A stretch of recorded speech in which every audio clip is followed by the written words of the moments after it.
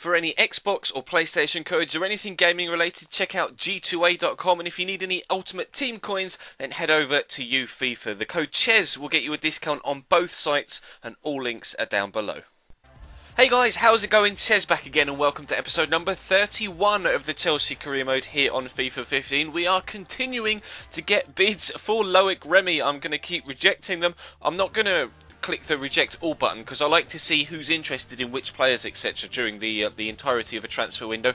It just seems to be that Loic Remy is the man that gets most bids for him right now, and uh, we seem to have a distinct lack of bids for players that are actually on the transfer list, which is quite frustrating. But uh, we jump into our second friendly of the uh, the entire season, and actually it's going to be the second only friendly. There won't be a third because in replace of our third friendly, we have the Community Shield final coming up a little bit later on in this episode against Manchester City. So we're hoping for a decent game against Juve. That was actually just a random clearance from uh, Ricardo Rodriguez. Remy brings it down, and Route 1 stuff, we take a 1 0 lead in the 29th minute and you'll be able to tell from the replay that it really was just a no-nonsense clearance from Rodriguez. Just gave it a good old whack, and uh, Remy beats. I think it was Bonucci, the defender, underneath, challenging challenging him for it, and he just outmuscles him, brings it down on his chest, and actually that is a very impressive finish. No wonder loads of teams across Europe are interested in Loic Remy. He was our second top goal scorer last season, and he started this season in great goal scoring form as well. So I made a couple of changes at half time, bringing on Lucas Piazzon and Marco Van Ginkel, two players that have come back from loan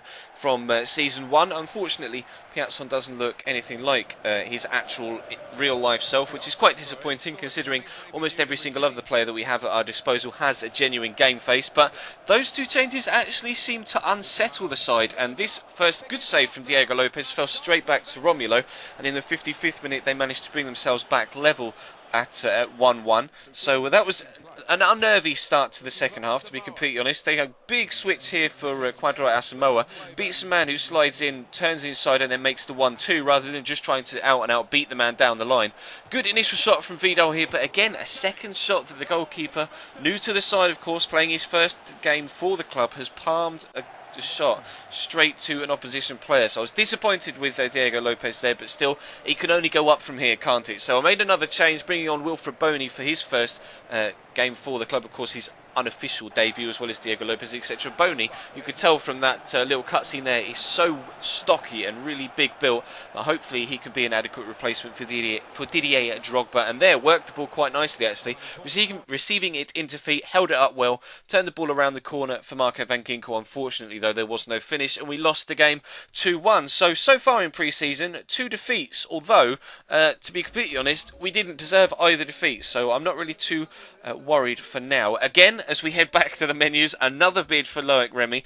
I am just going to reject all of these, but it is quite intriguing to see, you know, the vast amount of different clubs that are trying to pick up our French striker. We're still looking for a centre back, and I'm going to try actually a straight swap with Lucas plus a little bit of money for Gerard Piqué. The defence is somewhere where we need to improve more so than anywhere else right now. We only want a centre back and a winger, and uh, I'm going to try and use Lucas's make weight for Piqué. If I can't, I'm going to have to wait for uh, for either Lucas, William Carvalho, another bid there for Loic Remy. Uh, uh, Moses or Marco Marin, and for them to move on, so I have some extra actual physical cash to be able to bring Piqué into the club. But uh, if we aren't able to move any of those players on, uh, I might try in on deadline day a cheeky little straight swap deal. But first, team news. Here's the Chelsea lineup. Thibaut Courtois starts in goal. Gary Cahill starts with Aymeric Laporte as the centre-backs. Nemanja Matic plays with Fabregas in midfield. Diego Costa is the lone striker today. Manchester City's lineup today. Wilfredo Caballero plays in goal. Vincent Kompany starts alongside Eliaquim Mangala in the heart of defence. Yaya Toure plays with Fernando in central midfield. Stevan Jovetic is the main striker today. So an unfamiliar lineup for City against us so far in this particular series. Every time we've faced them so far, they've used a 4-4-2 with two holding mids and Iniesta alongside Yaya Toure. This time they're playing a 4-2-3-1, so it was going to be quite interesting to see how the two sides came up against each other with similar formations because of course we've now switched to a 4-2-3-1 as well from the 4-3-3 of last year. So perhaps a little bit more of a level playing field when it comes to uh, trying to take on City. They obviously were the better side against us last year, and uh, deservedly won the league title. We've had a couple of early chances there though, and then Jovetic beats his defender across the front of him and rattles the woodwork. That was a decent chance for them, and uh, the Montenegrin will be disappointed not to have given them a 1 0 lead. And you can see we're still only in the 15th minute. We're going to have another chance here. Diego Costa turning inside well, but Willy Caballero makes a good save. And they seem to play him over Joe Hart more often than not, which is weird. I'm not really too sure why, but I guess we'll take it because, as far as I'm concerned, whilst Caballero is a good goalkeeper, he's not as good as Joe Hart.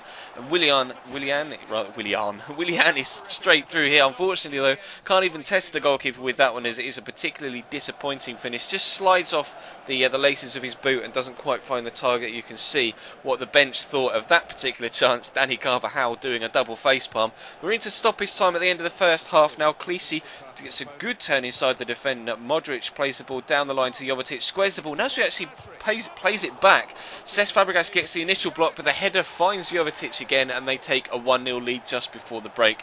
I was disappointed to go in at half time with uh, a 1 0 deficit because I felt we deserved to at least be on level terms going into the second half, if not ahead thanks to uh, you know the amount of chances and the quality of chances that both sides have created. But I made a little bit of change to the formation there. As you can see, it's a little bit less aggressive with uh, the two wide players playing a little bit further wide and a little bit further back, hoping to have more of a you know more interconnectivity with the two holding mids and the three attacking mids to have more of a midfield five rather than a you know a defensive two and then a forward three, hoping that we could kind of you know just get a grip of the game. And actually, two minutes into the second half, we brought ourselves back on level terms immediately Diego Costa scoring a great breakaway goal.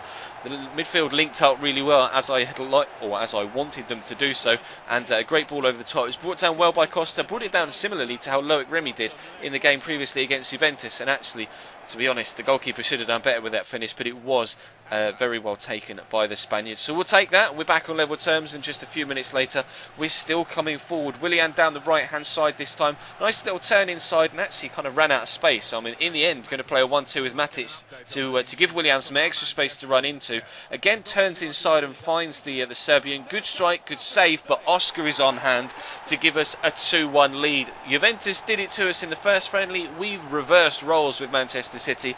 We went in 1 0 up at half time. They went in 1 0 up at half time. We got caught with two quick goals at the start of the second half, and now City have been caught with two quick goals at the start of the second half. And actually, this third replay shows it really well. The technique there from Oscar to keep that down is particularly impressive. I was really pleased with that goal. I made a couple of changes. You can see Schürrle and Ramirez coming on for Fabregas and Willian, just to add some extra uh, extra fresh legs into the mix to keep City out if we possibly could for the rest of the half. Although, as you can see, there are 20 25 minutes left, and now what 15 minutes left.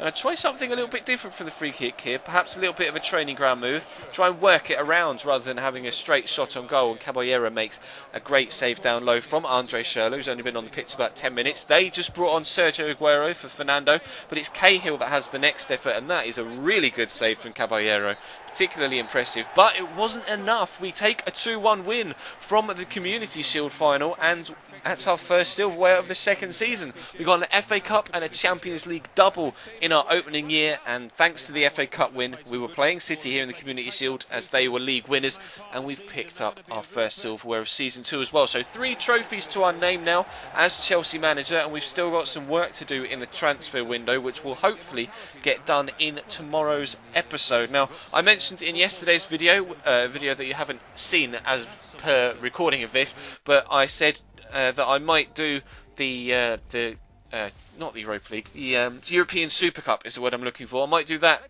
I was mentioning about perhaps doing that video as a live com. I'm actually not going to do that as a live com. I'm going to integrate it and work it into a normal episode just so that we can uh, actually get Deadline Day involved in a video with some games rather than uh, you know having to uh, to have a little bit of a break etc. So uh, I'm just working it in my head a little bit differently. But as you can see, huge bid for Thibaut Courtois, and had I not been trying to sell on other players to uh, to make the money up to get a centre back, I may have been tempted to put a counter offer in there for like 60 million or so. But Courtois is particularly impressive, uh, easily best goalkeeper. Diego Lopez has come in. He's done okay. He did make some great saves actually against Juve that I didn't show you. It just so happened that the two mistakes he made led to two goals. But as you'll be able to see here, we still have a lot of men to move on to hopefully free up the cash to bring in a, a centre back more, uh, you know, centre back as the first signing, and then maybe a winger as well. Like I say, I may on deadline day uh, try a straight swap with Lucas for a winger that I have in mind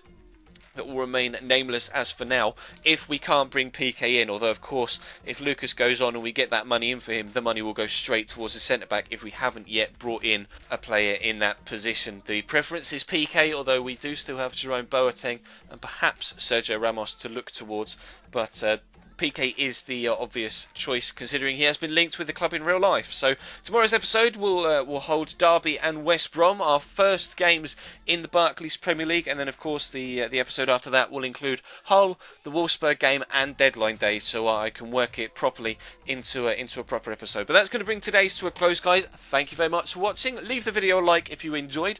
Of course, subscribe if you haven't already. We're coming close to 31,000 subscribers now, which is incredible after hitting 30k just recently over the weekend. Of course, there'll be a My Player episode tonight. We're coming to the end of the first season in that series as well, perhaps looking to get ourselves a transfer move away from uh, League Two Cambridge United. So that's going to be uh, particularly interesting over the next few episodes. And of course, check the links in the description to G2A.com and now UFIFA as well if you want some Ultimate Team coins. Have picked up a coin sponsor mainly to help fund uh, a brand new PC that will go to you know all the money I earn from uh, you know, sponsorship, etc., goes straight back into the channel, and uh, it's going towards a new PC and a new setup, so I can get you uh, face cam and green screen, all that good stuff. That's what all of the uh, the sponsorship is going towards. So if you do want that sort of thing, then feel free to support me by buying, uh, you know, your Ultimate Team coins from that particular site with the code Ches as well. So uh, yeah, that's going to bring today's episode to a close, guys. You will see that new altered intro